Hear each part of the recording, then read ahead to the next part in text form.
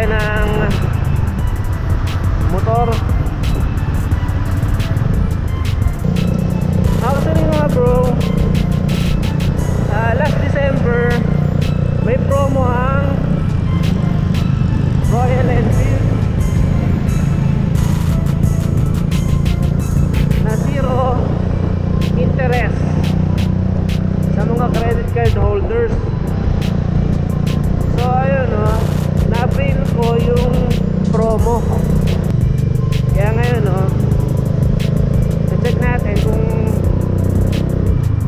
Available na yung unit na gusto ko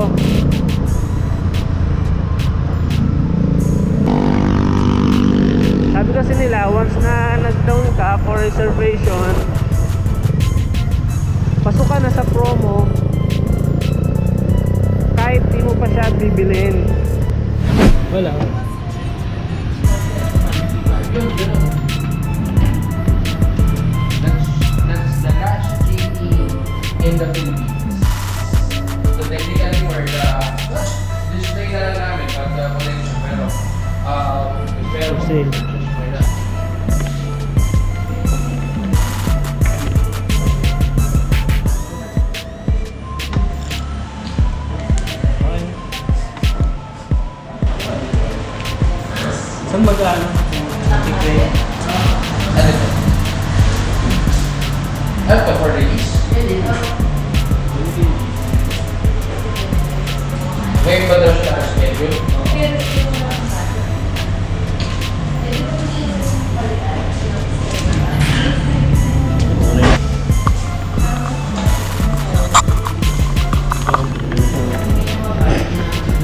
Bili ka.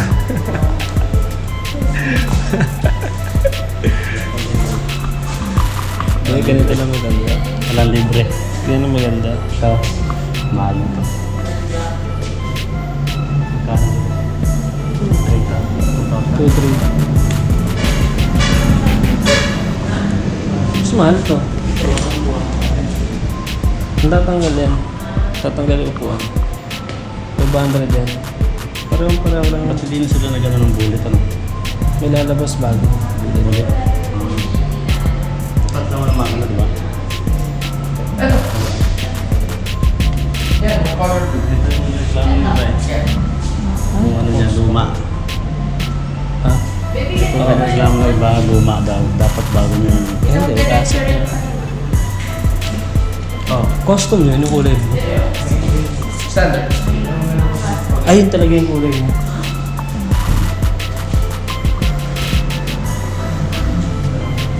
Yung bagong model ba na? Ganito.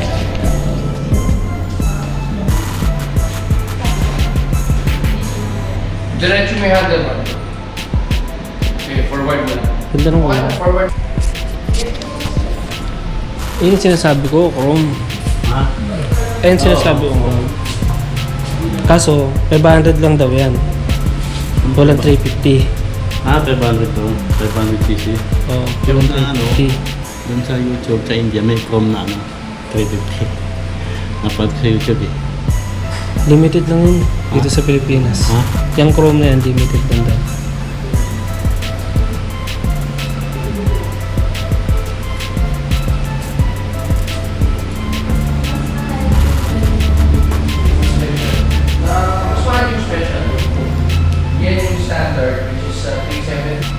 Ito yung, ito yung luma. Least yun Hindi, yan eh, Continental GT na luma. Yan, yan talaga. Ah, wala na yan, rare na yan. Ito yung sinatanong niya, yung upuan. Paglipas ng 10 taon, rare na yan. Ha? Paglipas ng 10 taon, Oh. rare na. Kaya, Mid-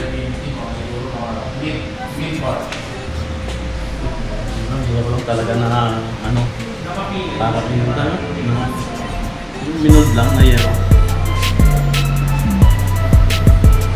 Actually, marami ng Mr. T. Marami yung order.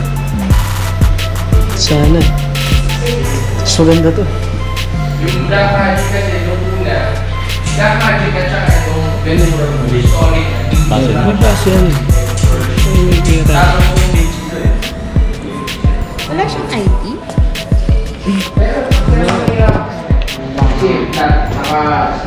Basta yung ano yan, yung nila. Hmm. Wala sa ano. Ha? Alam ko makinig sa ano. Ano? Hindi niya sa kala. Niya ay. Ah, dila. Sa atin ang kalikit. Ewan ko. Sa birth certificate ng kaapulan na yan. Ayun, ayun. Bibrief ko muna kayo bago ano, ah,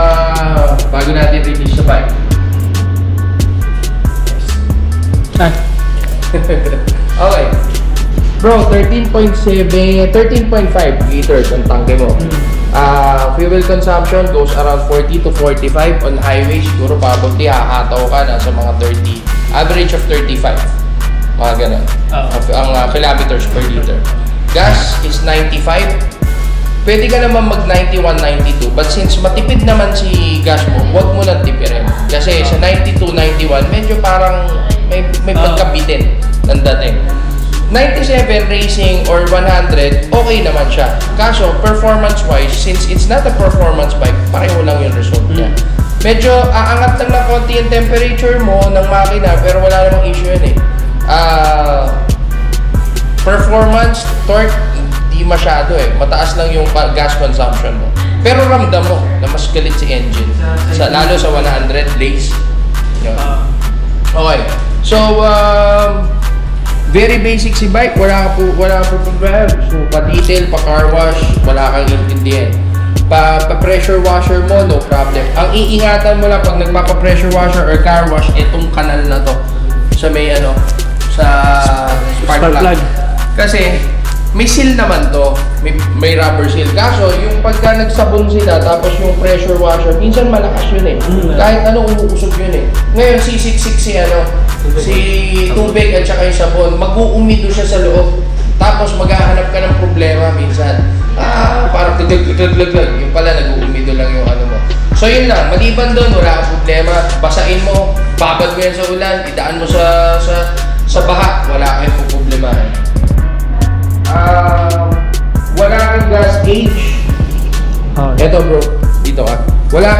Gauge. So, pag naubusan ka ng gas, eto, Reserve. dapat ito lagi ito nandito sa baba. Alam mo naman yan. Tapos off, tapos reserve.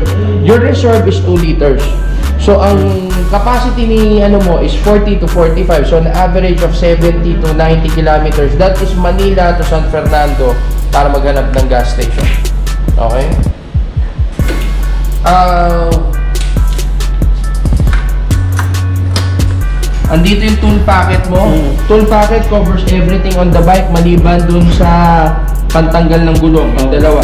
Na which is hindi mo naman gagamitin unless nasa vulcanizing shop ka. May Oh. may ano naman yan, may ah, may tools naman sila. Dito sa kabila, air filter mo. I would suggest don't put anything kasi doon papasok yung ah, air. So ah, wala kang ano, wala kang compartment or whatsoever. ah,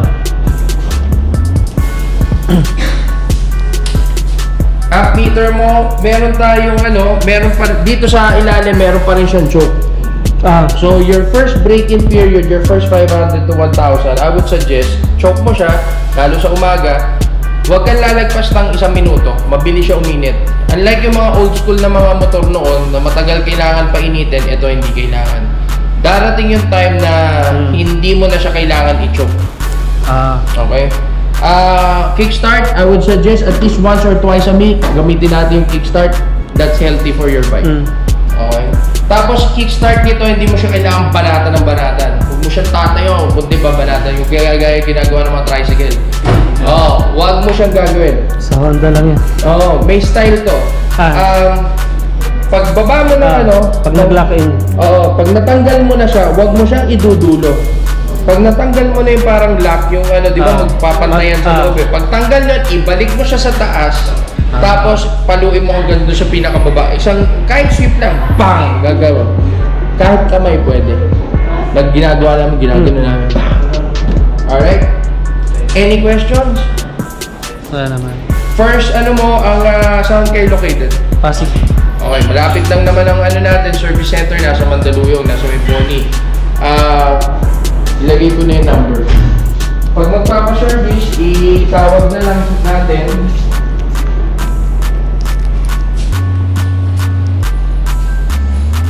Six, nine, six.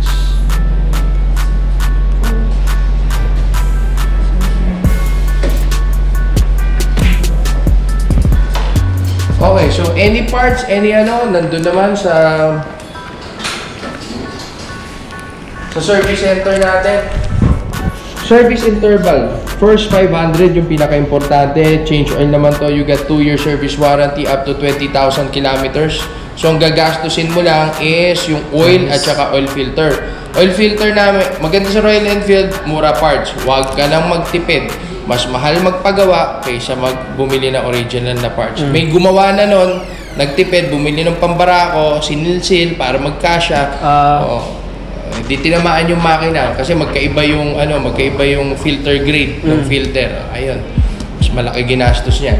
Um, Gagastusin mo probable budget mga siguro mga nasa 1.6 to 2,000 every magpapa-change oil ka kasi oil lang naman to. You have options sa service center natin. Huwag ka mag-fully synthetic kasi still old school type pa rin to. Baka umislide ang clutch sa dulo sa fifth gear. Ops. Unless na gusto mo subukan, okay lang naman, pwede mo subukan.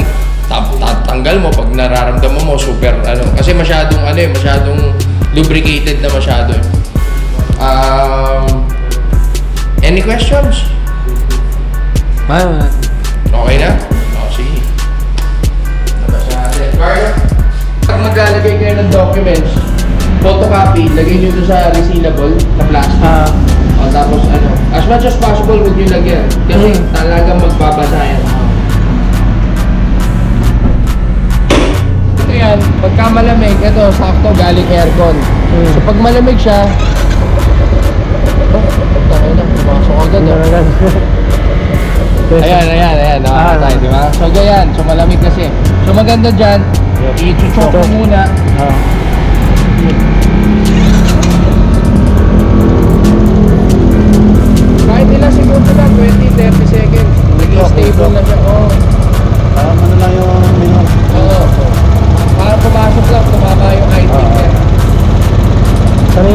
Hard start yun, hard start yung akin. Ah, talaga? Choke talaga sa umaga. Pero ito, sandali lang. Tapos pag dumating na yung time, yung sa akin, Oo. yung sa akin, pare wala nang, wala nang choke choke. Minsan wala nang throttle eh. Pag ganun mo, minsan 3 days, 4 days. Tatatatata.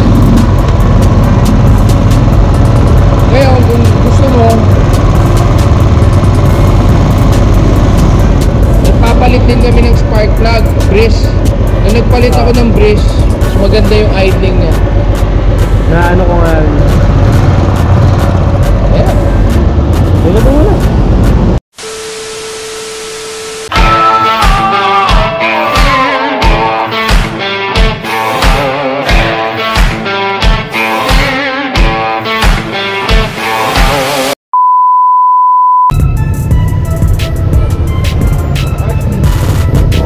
Four up, no? One down, four up.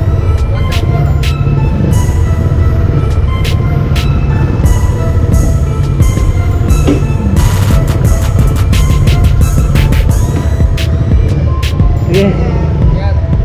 Sige, salamat.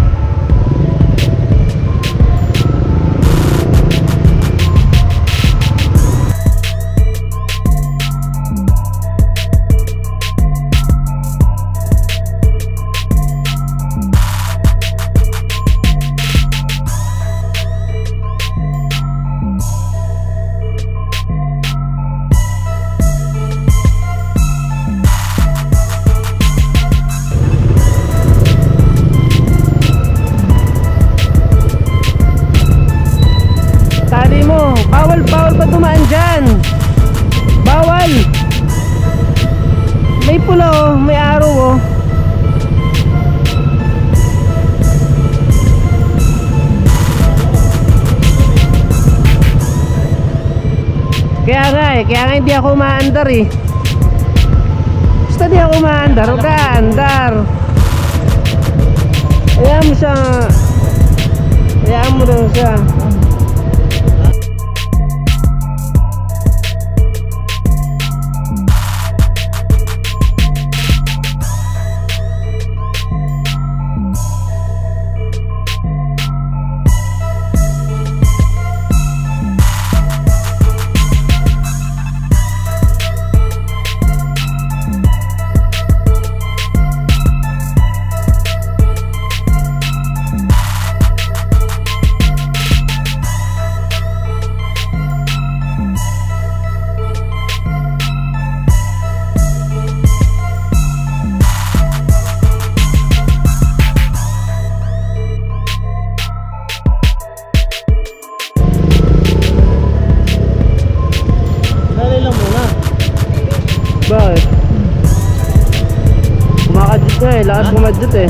Eh. Ang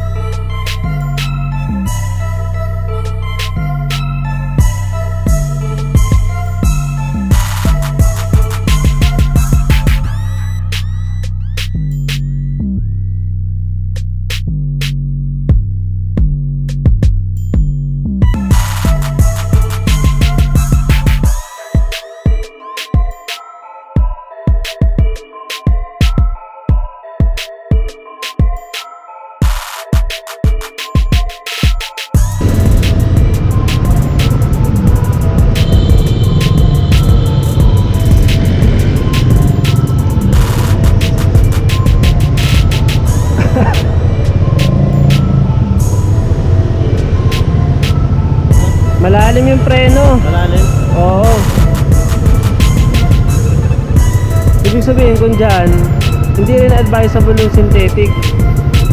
Oo. Kasi nga, yung glass. Mag-slide down. Hindi, kaya nga, kahit dyan, sa regular na ano, Kahit ka dito nga. tama lang para din binibili ko. Pero sa bagay, iba nag-synthetic eh.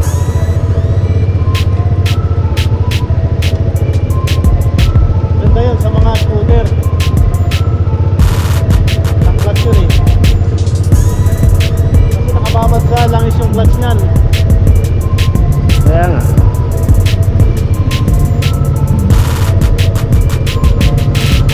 Malaki tingnan, di ba? Malaki. Mukhang... Malaki tignan, pero pag sa likod, maliit.